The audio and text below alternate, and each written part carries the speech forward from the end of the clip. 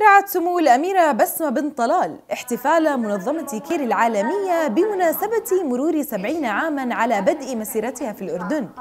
وأشادت سموها خلال الاحتفال الذي أقيم تحت شعار نحو تحقيق التنمية المستدامة.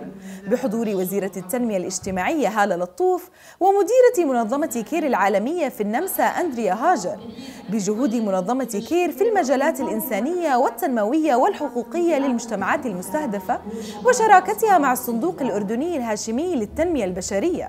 نحتاج فعلا توجه وإيمان كير ومنظمة كير وزي ما قلت كلنا بنلاقي حالنا فيكم وكلنا سعداء أنه نعمل معاكم ومن أجل تحقيق مستقبل إن شاء الله أفضل وأسلم واستقرار أكبر لمنطقتنا الغالية. شكرا جزيلا. لكم بدورها أكدت مديرة منظمة كير في الأردن سلام كنعان أن مسيرة المؤسسة حافلة بالإنجازات حيث عملت على تحسين الأوضاع المعيشية لأكثر من أربعة ملايين شخص في المملكة على مدى السبعين عاما الماضية.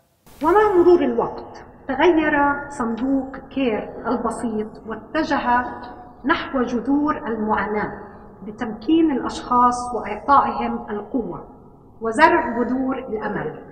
والتغلب على العنف والظلم الاجتماعي. أهداف منظمة كير كبرت ولكننا ما زلنا ملتزمين بنفس مفهوم طرد كير.